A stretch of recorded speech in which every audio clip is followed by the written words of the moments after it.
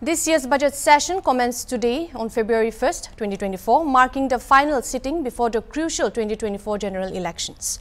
All eyes were set on Finance Minister Nirmala Sitharaman as she presented the interim budget, offering glimpse into the government's economic agenda for the coming fiscal year. Let's look into some of the major takeaways of the 2024 interim budget session. Looks like 2024 will be a year of light, in case you're wondering why.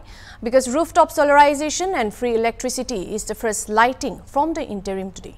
So, the Indian government has announced an exciting initiative called the Rooftop Solarization and Free Electricity, the Pradhan Mantri Suryodaya Yojana. This means the government aims to install rooftop solar panels on 1 crore households across India. These panels will generate electricity for the households, potentially reducing the reliance on the grid and lowering the electricity bills.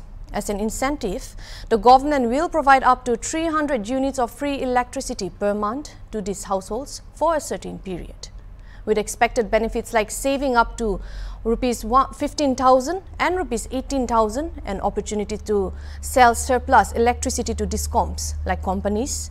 Overall, the rooftop solarization and free electricity initiative has the potential to significantly benefit millions of households in India by reducing their electricity bills, promoting clean energy and offering additional income opportunities. Now let's talk about the other very interesting key point, housing for middle classes. So the government plans to launch a scheme to assist deserving sections of the middle class living in rented houses, slums, chawls or unauthorized colonies to buy or build their own houses. This one looks quite challenging because according to 2020 statistical updates, 49% of India's population resides in the slum. The next big announcement from the budget session is the expansion of medical colleges. The government plans to establish more medical colleges by utilizing existing hospital infrastructure. With a committee to be set up for examination and recommendation currently, India is home to 751 medical colleges of which 141 are private medical colleges, 89 are government owned and rest 8 are semi-government owned. As India faces a significant shortage of doctors, increasing medical college capacity could help address this issue. Minister, Union Minister Sitharaman also announced the interim on vaccination for girls during the session. This is a major highlight as this can be a positive initiative and as cervical cancer contributes to approximately 6 to 29 of all cancers in women in the country and especially for the state of Mizoram because unfortunately Mizoram holds the highest rate with 23 and 700 per thousand.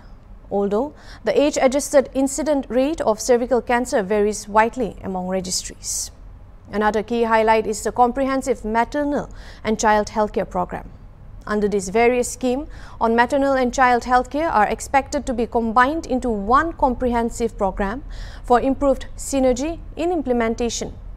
So far, in the past, India has launched several programs focused on maternal and child care, such as the Mission for the Inclusion of Vulnerable Tribal Groups MIVTG, the Pradhan Mantri Matru Vandana Yojana PMMVY and Rashtriya Bal Swasthya Karyakram RBSK.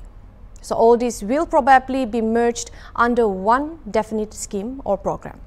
Besides this, the other interim announcements were expansion of Nano DAP application, which is a Nano DAP application on various crops, will be expanded across uh, agroclimatic zones. Next is the char charging of electric vehicles, and then the promotion of post-harvest activities. Then there is the extension of Ayushman Bharat coverage and agriculture and food processing, which means intensified efforts in value addition to boost farmers' income with a focus reducing post-harvest losses and improving productivity and income. And then we have the Atma Nirbhar Oilseeds Abhiyan, then the Dairy Development Pro Program, also the Matsya Sampada. Next is promoting investments. Another one of the societal changes, revised estimates for 2023 to 2024 and the tax proposals Sitharaman proposed not to make any changes relating to taxation and retain the same tax rates for direct and indirect taxes, including import duties. Last but not the least, another important announcement is the fiscal deficit which is lower than what people were expecting. 5.8 was the percentage of the country's total economic output, the GDP. The actual deficit was lower than what economists and other experts had predicted. Fiscal deficit target in 2024 to 2025 is 5.1%, which is goal the government has set for the deficit. Overall, there are no SOPs or big rural transfers. There is also no changes to direct or indirect tax rates. No change in structure as well. As we know, interim budget, also known as a vote on account, is a temporary financial plan presented by the government in election, an election year in India. Overall, the interim budget serves as a stopgap arrangement, bridging the financial needs of the government until the new administrative establishes its long-term economic agenda.